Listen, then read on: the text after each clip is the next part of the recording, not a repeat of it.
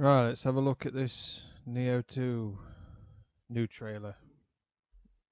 I know for a fact though that it's set before the first one, but that picture, the in, the image, the thumbnail, the dude looked like Lu Bu, but I know for a fact it ain't. It's the I, I can't I don't know how to pronounce his name. It's the dude who's on this like the last boss on Nioh One and is pretty much nearly on every samurai based game.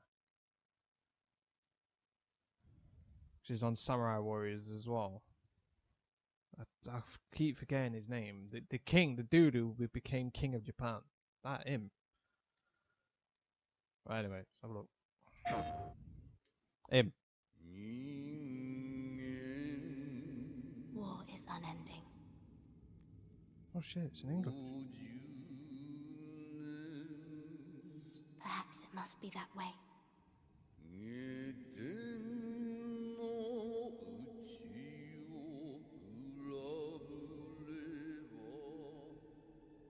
As long as people are people. Plus, you can even see because she's young. You're a shiftling.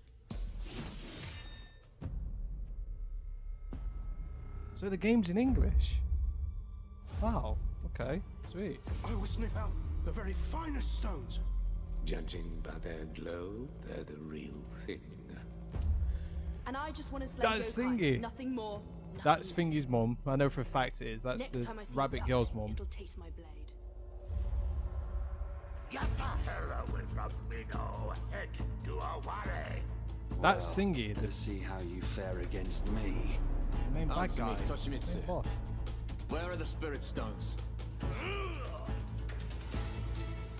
The dreams of the spirit stones come at a price. To surrender oneself I'm surprised a it's in English. desire. How frightful.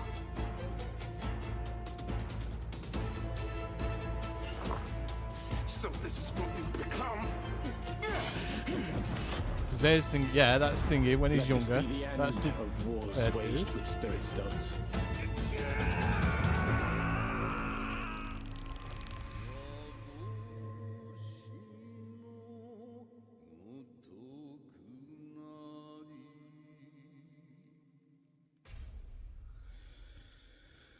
mate